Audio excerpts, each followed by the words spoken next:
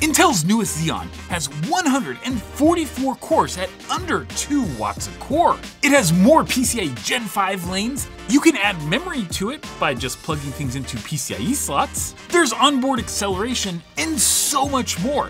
We have a ton to go over today because these things are gonna redefine what servers are, so well, let's get to it. Hey guys, this is Patrick from STH, and this is Sierra Forest, also known as the Intel Xeon 6 or 6700E series, because this uses efficient cores. In this video, I'm gonna show you everything you need to know about Sierra Forest because there are things that I think a lot of people are just gonna gloss over. If you're not a server expert, you're just gonna miss these things. Now on the STH main site, we've been been covering the server industry for about 15 years, and this is by far the biggest change to the Intel Xeon lineup in all of that time. And I don't mean it's even remotely close with other generations, this is absolutely huge. Now, I don't think that this is going to be the highest volume part that Intel sells in the Xeon 6 series, but on the other hand, it might be the most important because it uses all efficient cores. If you don't think that this is absolutely awesome, I'm gonna just tell you right now that by the end of this video, you are gonna think that this is phenomenal because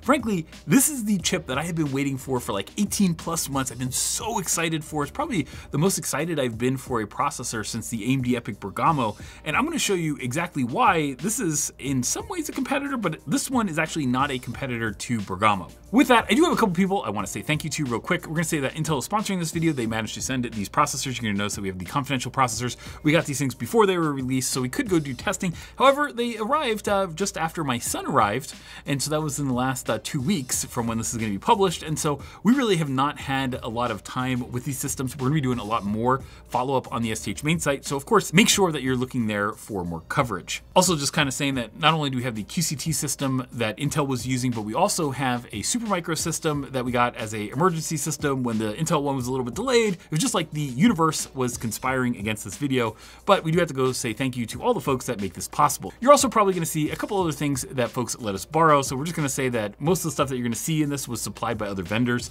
but just kind of wanna be 100% above board here. With that, let's get to what the heck these things are. Okay, so let's set the stage at least with what even Xeon 6 is and why this is perhaps the biggest change that Intel has gone through in their entire lineup and I don't even remember how long. So this is Sierra Forest, this is Emerald Rapids, and you see that size-wise they are pretty darn close. And that is because this is part of the 6700 series. So in the new Xeon 6, there are two different platforms. There's an eight channel platform, which is our Xeon 6700 series. There are both P and E versions. This is the E version because it uses efficient cores. There's also a P version that uses P cores. This is all gonna get very confusing, but I'm gonna make a little chart so that way it makes a little bit more sense. Now in the 6700 series, there will also be a Redwood Cove P core variant that will go up to 86 cores, which is a heck of a lot more than the you know 64 cores that we get with Emerald Rapids. But you also see that Intel has the Intel Xeon 6900 series, and that is a 12 channel platform, and that's really the one that I think competes more directly with something like an AMD EPYC, Bergamo, Genoa, or you know future EPYC processors. Okay, and I just wanna show you this real quick. This is an AMD EPYC Bergamo. This is the Sierra Forest, and you can see that it's a much smaller package, right? There's less IO for like memory channels and all that kind of stuff, and it's just a smaller package, lower TDP, all that kind of stuff. So I think Intel's idea is that the 6900 series is really gonna compete with the higher end AMD parts, but the 6700 series is gonna be kind of more of a kind of mid-market optimized part. And just to kind of give you some idea, this is the AMD EPYC Siena uh, platform. You can see that these are much more uh, kind of similar size parts. But the Siena platform, which is the EPYC 8004 series, only goes up to single socket. So um, this is kind of like a cool thing where this is a dual socket processor that is a much smaller and much lower cost platform. So in the larger socket that we're gonna see pretty soon, you're gonna get up to 128 performance cores. And that same socket will essentially have two of these or two of the compute tiles in these, giving you up to 288 cores per socket. And to be clear, that 288 core per socket part is really more of the competitor to something like a Bergamo that AMD has. But just to give you some sense of how crazy the Xeon 6700E series is, there are 144 core parts that use like 250 watts, which means that if you think your Ampere Altra Max, which still uses DDR4, still only has PCIe Gen 4, um, well, that was 128 Neoverse N1 cores, so they're kind of the lower end cores, and that was still in a 250 watt package. Literally, Intel is going down to ARM levels and has faster I/O, accelerators, all that kind of stuff, and they're going to beat them on a performance or power per core basis. Now, the way that Intel's making these parts is that there are modular I/O dies, which have things like your UPI for your socket-to-socket interconnects. It has PCIe, all that kind of stuff, and also accelerators are in those. And then the memory controllers, as well as the actual cores, are in the compute tiles. So this Sierra Forest part only has one compute tile. There is another version that will have two compute tiles, and then there will be different performance core options depending on you know which which series you're in. And the other important thing is that the compute tile on this is a Intel 3 process, whereas we have Intel 7 for the I/O die. And the importance of Intel 3 can't be understated here. The fact that Intel is using one of their leading process nodes for this means that they're going to be much more competitive than they have been on a performance per core basis, partly because of the efficient core, but then also just because of the process technology really catching up to TSMC. The next version of this is Clearwater Forest, and that is the one that I think people are totally jazzed about because it's on Intel 18A, and that should really, really push things to the point that Intel may actually take the overall just performance per watt lead back from ARM again, uh, just based on that new process, right? So this is really the precursor to that. And a couple other big things about the 6700 series. The 6700 series, you get up to 88 PCIe Gen 5 lanes, and that does not include the UPI links that go from socket to socket. Now, while we're on the platform level, there are two other things I want to talk about. First, these chips do support CXL memory. Here's what one looks like. This is an Astera Labs Aurora 1000 platform. And just to kind of give you some idea of what you might use something like this for, what you can do is you can actually take DIMMs and put them into here, and then you plug it into a PCIe slot, which will run CXL, and then you add memory. So we have 64 gig DIMMs in here. There's four of them, so that's 256 gigabytes of memory. You put this into a PCIe Gen 5 by 16 slot, and it gives you roughly about like two memory channels, I think, worth of bandwidth. Now, one of the systems that we have is using 64 gig DIMMs in all 32 slots, so we get about two terabytes of memory. But what you can do is you can go put CXL devices in there and add easily another terabyte if you wanted to get to three. And the other huge platform change that I think a lot of people are gonna miss is the fact that you no longer have a PCH or platform controller hub. Those PCHs actually used well over 10 watts of power. So even if you had TDPs on your CPUs that were like 250 watts each or something like that, by having that PCH, you'd have like another 10, 15 watts or whatever, just kind of sitting on the motherboard that nobody ever really talked about, but it was present when you looked at system power consumption. AMD EPYC has never had a PCH, so it's always been a difference, and it's kind of been, uh, to me at least, a disadvantage to the Intel platforms. And now that they've gotten rid of it, they have a much more modern I.O. stack. So now that we've talked about the platform, let's talk a little bit more in depth about the chips and what it means to be an E-core versus a P-core in this generation. A lot of people think that an E-core just sucks and that's like kind of life, like E-core is like from the old Atom line, so it must be horrible.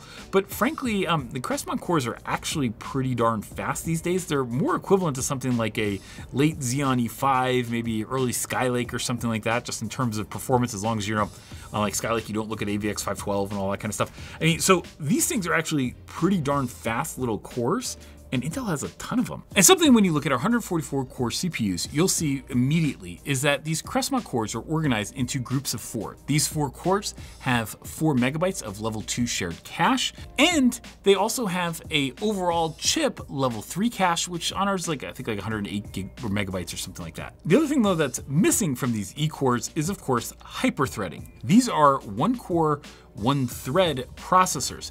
And that is a huge deal. If you're still using something like a Xeon E5 or a Skylake, so first gen Intel Xeon scalable server, well, um, all those Spectre meltdown vulnerabilities um, you know, those, those hit you pretty hard in those generations just because folks hadn't really realized that those were a big deal yet. And the chips at the time just weren't built to go and handle all of the side channel attacks brought by having SMT on. And so with Sierra Forest, you only have one core, one thread, so you, you don't really have to worry about that. And that's also the reason that a lot of the ARM chips don't have multiple threads per core.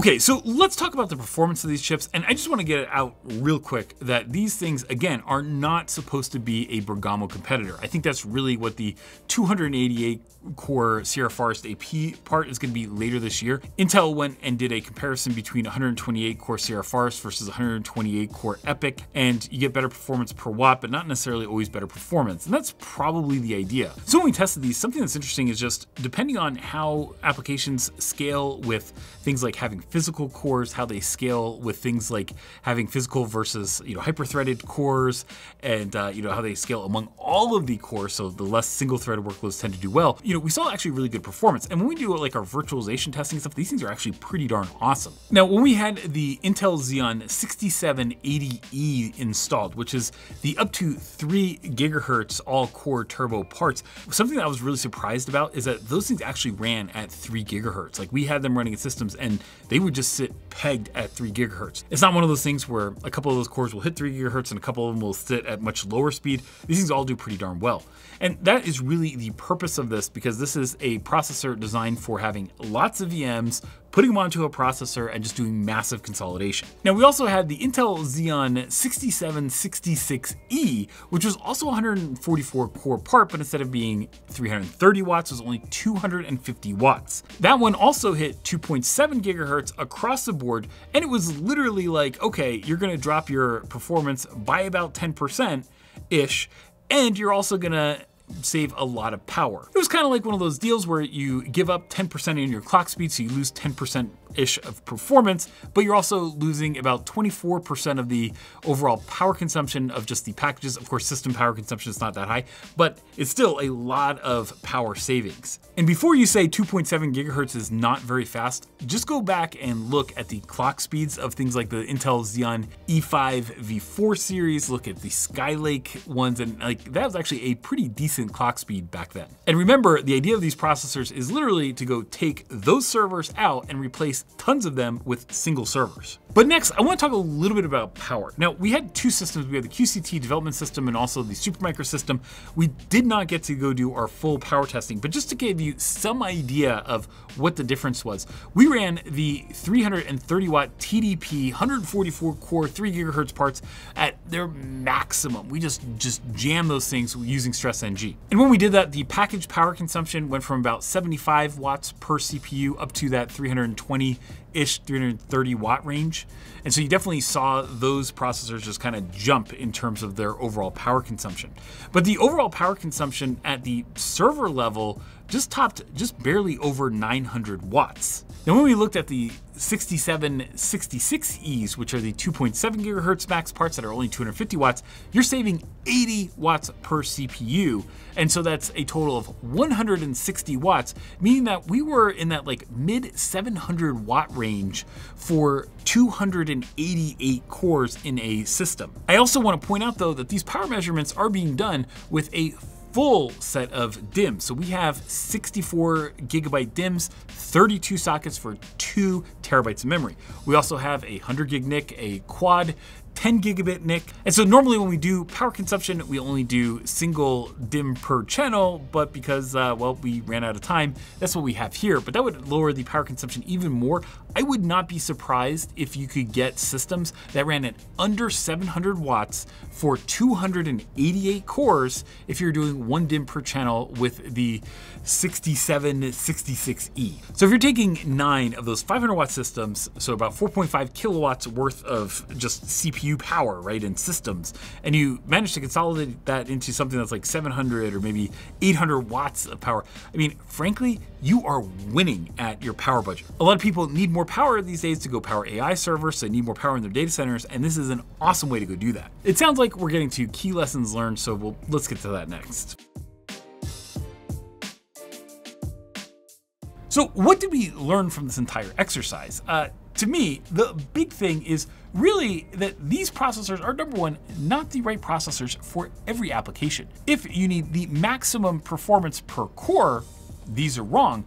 And that means that things like maybe for VMware installations, if you're still running VMware, I would go with a P-Core for that because you want more performance per core. And so Emerald Rapids or Granite Rapids seems like a better fit. Now, on the other hand, If you have things like you're running MySQL databases and or MariaDB databases, you have things like Nginx proxies, or maybe you have Nginx web servers or something like that, these things are absolute monsters. They offer absolutely crazy consolidation ratios and you know, the idea that you can have 288 cores in a 500 watt TDP combined power budget, that is absolutely crazy, guys. And to me, the idea with these processors is that you really should be exploiting that idea that you're, you know, little under two watts per core, you should be using that as a guide to go and consolidate. So if you have all these little VMs that are just sitting there running whatever services, uh, get the Forest things, get those old servers out of your data center so you can go and put AI servers in. But I think it's important at this point to take a step back, right? We know the market for these chips, which is basically if you have low power VMs that just kind of need cores and you know you want to go put those on something that doesn't use a lot of power, the power efficiency of these things is phenomenal because Intel is finally getting their process and their foundry game going again. But the bigger implication is really what Intel is doing. Intel Xeon is no longer, okay, here's our P-core good luck, and we're just gonna scale from Xeon Bronze all the way up to Xeon Platinum. The idea of just having one core and really having, you know, the performance being dictated by, okay, well, here's the number of cores you get, here's a clock speed, we're gonna mess with the memory speed a little bit and just kind of like good luck, right? That's no longer the case. Instead, Intel essentially has four different lines of Xeon processors that are coming out. By having four different options, you can now pick between having E-cores in a platform and a lower power platform, which is this. There's also P-core options, so if you validate an entire server, you can pick P-core or E-core. And if you want to go to a higher end platform, that's what we're going to have next when we start seeing 128 core Granite Rapids. There's also going to be a Sierra Forest, a 288 cores, the Sierra Forest AP, and that is just, I can't wait for that part, guys. I mean, that is to be absolutely crazy for consolidation. And hey, guys, let's face it, you might look at this and say, cool, Patrick, I get it, Sierra Forest today, but I'm not gonna go and adopt a first gen technology. Well, let me give you a couple thoughts. Like one, uh, the next generation of these Clearwater forests, people are just freaking jazzed about because I think uh, they're gonna be pretty awesome. We can't really talk about them yet, but hopefully we will in the future. But uh, definitely get ready for that because eCore, I would say, has a very vibrant line. And if you look at what is happening on the consumer side, you might kind of get an understanding or at least an idea of why. And also, let's just face it, if you have anything, let's say you have a low power rack or something like that, and you just kind of need more cores. I mean, how old is a 16 core in a socket system? How old does that look when you have processors that now have 144 cores and you know you're going up to 288 cores in like the next couple months. And if you say, hey, I can't afford it today, remember that same concept is gonna work in your home lab in the future. And hey guys, I really wanna hear what you think about these new processors. I'm so jazzed by it. Um, these things have to be one of the more fun things that we've ever used and ever touched at STH. I'm super jazzed by the whole idea of these cloud native processors. I love to hear what you think though. And so why don't you drop a little line in the comments and let me know what you think. But also send this video to your colleagues so they can learn all about the new Xeon EE. Also give it a like, click subscribe, and turn on those notifications so you can see whenever we come out with great new videos. As always, thanks for watching. Have an awesome day.